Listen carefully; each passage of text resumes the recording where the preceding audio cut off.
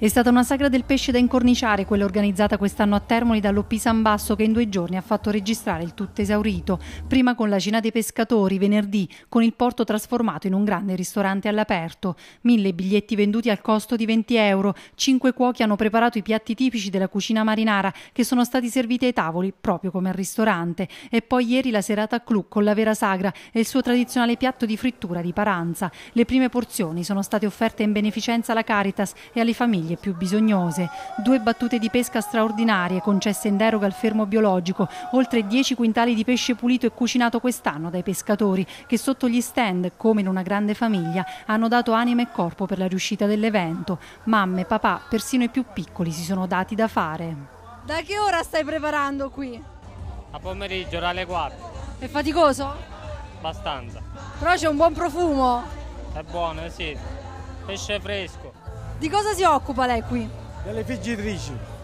È caldo stare qui, molto caldo. No, no. Stasera è abbastanza ventilato. Eh. Ma noi il lavoro non ci fa niente.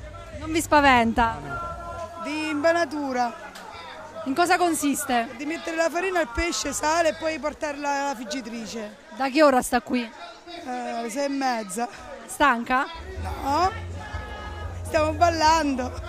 Stiamo... Eh, merluzzi, sanghette, cicale, cicale seppie, eh, calamari. La buona organizzazione quest'anno ha evitato lunghe file alle casse, soddisfatto il presidente dell'OP San Basso, Basso Cannarsa. Il bilancio non lo dobbiamo fare noi, lo dovete fare voi. Eh, noi ci siamo impegnati al massimo, ieri sera, ieri sera abbiamo avuto qualche lamentela, ma stanotte abbiamo fatto un po' i conti Abbiamo fatto circa mille pasti, abbiamo avuto una ventina di lamentele, abbiamo rimborsato 20 biglietti. Stasera non vedo file. Qualcuno mi ha detto ma non c'è nessuno.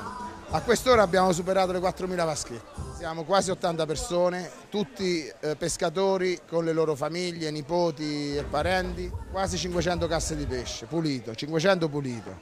C'è stata un'affluenza pazzesca dalle 7, tutta gente squisita, nessuno si è lamentato. Vengo da Romania, però sono residente qua da 8 anni.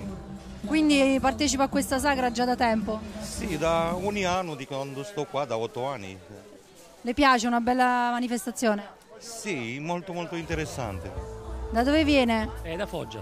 Viene sempre qui ogni anno? Sì, sono ormai più di vent'anni una manifestazione che quindi piace a lei, e alla famiglia? Sì, certo, è un motivo per stare insieme, stare all'aria fresca, vedere un po' di gente e comunque sono belle cose che rispettano le nostre tradizioni.